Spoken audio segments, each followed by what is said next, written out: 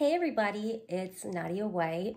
I just wanted to personally invite you to a very special live stream that's happening this Wednesday night at 7 p.m. on Naked News Live. Once again, that is April 17th at 7 Eastern, and you will be joining yours truly for some personal time.